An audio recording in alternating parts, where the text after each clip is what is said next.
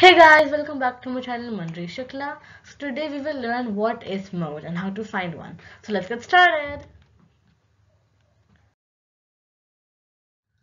So first of all, what is mode?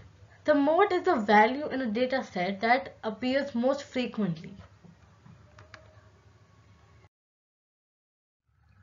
So here we have a data set.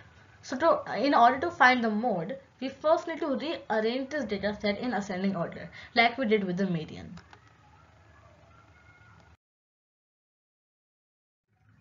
So we have now arranged our data set in ascending order. And over here we can see that 2 is getting repeated twice, 3 is not getting repeated at all, and 7 is getting repeated thrice.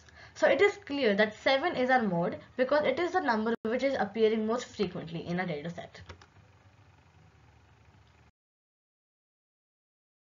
So 7 is our mode. Now over here in this data set, we have the values of 1, 3, 4, 6 and 9 and it is already arranged in ascending order.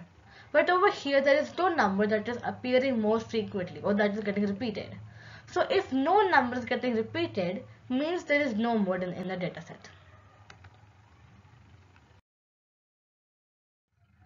we have we have gotten an, another example here.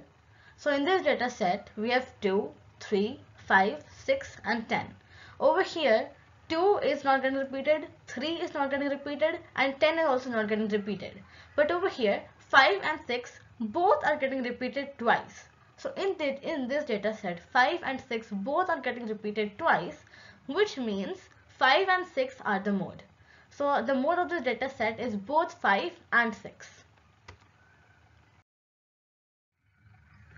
Now here we have another example. To find the mode of this data set, we first need to arrange it in ascending order. There we go. So 1 is not getting repeated at all. 4 and 7 are getting repeated twice. 8 is getting repeated thrice. And 9 is getting repeated twice. So clearly 8 is our mode because that is the number which is appearing most frequently.